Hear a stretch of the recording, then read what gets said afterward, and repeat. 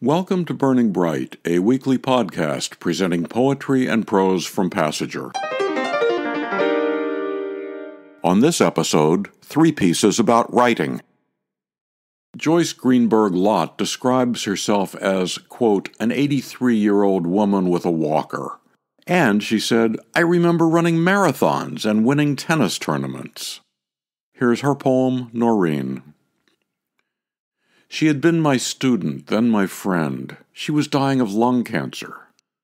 Decades ago, I visited her in the hospital. I'm writing a poem, she told me, lying in her bed. I felt proud. May I see it? I asked. Noreen was beautiful, especially her hands, white marble that moved. My poem's in the air, she said, tracing it with her hands. All our poems are in the air. I know that now. Sometimes I try to write mine down. Joyce Greenberg Lott's poem Noreen from Passager, issue 71.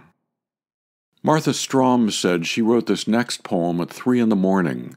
She said, I have heard that writers in the 18th century used to take a kind of anti siesta during the wee hours. I often pray and meditate and sometimes write poetry then. Here's her poem, Zombie.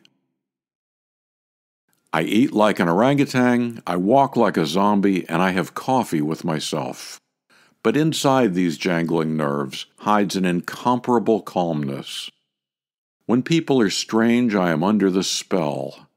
Weirdness is the ticket. Today's curse is grace. The lamps are lit. Today I discovered the secrets of the sedentary. I kind of like a day spent under a black moon. Somewhere leaves are burning to make it smell like fall, but I have emeralds in my eyes and blue fires in my fingers. They cradle a pen whose cries are sweet as those of a solitary stranger who rooms without illusions in my mind. I have heard it said, No one can rob a poet of her pleasures. Martha Strom's poem Zombie from Passager, issue 61. She said that when a friend read the first line, I eat like an orangutan, she said, You eat like a what? And Martha replied, I eat a plant based diet. I forage for food in the produce section at Trader Joe's.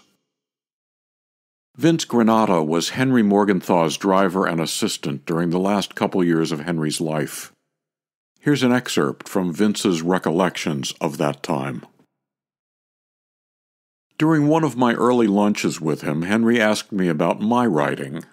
I remember how this came up, how he told me that he wanted to see some of my work because I had seen so many of his poems in the manuscript for A Sunday in Purgatory, which was still a month from publication. My relationship with Henry shifted after I showed him one of my essays. He began to dictate drafts of his poems to me, and as I typed, he would ask for my opinion on a line break or the effectiveness of an image. Soon, a part of our afternoons became a dialogue about writing, a place to explore a shared love of words. It turned out that even though he was almost 70 years older than I, we were new poets together. We were both learning our craft. Any writer new to a genre needs to rely on substantial feedback to make progress. As a poet, Henry constantly asked for others' opinions, participating in poetry workshops at his retirement community, sending drafts to his poet friends, reading his work to me. Yes, this is what a new poet needs to do solicit feedback from others. But this sharing can be incredibly taxing and requires a real willingness to be vulnerable to take risks with work in progress. This was doubly true for Henry, because a great deal of his poems are first person poems, confessional poems, deeply personal work he modeled after one of his favorite poets and real life acquaintance, Robert Lowell. To be vulnerable and receptive to feedback about personal creative work is difficult at any age, let alone at 95 when Henry began writing poetry but Henry remarkably was able to open himself up and learn from what others saw in his work. Somehow, as he entered the second century of his life, he remained mentally flexible, receptive, malleable. Though his poems interrogated the world, his inner world and the world around him, both vast, Henry never rushed to write a line or speak before he was ready. As a successful new, older poet, Henry found a way to be both persistently curious and patient, to allow others to help his work evolve, an example all writers can strive for. An excerpt from Vince Granata's essay Remembering Henry from Passager, issue 66. To buy Henry Morgenthau's book A Sunday in Purgatory, or to subscribe to or learn more about Passager and its commitment to writers over 50, go to PassagerBooks.com. You can download Burning Bright from Spotify, Apple and Google Podcasts, and various other podcast apps.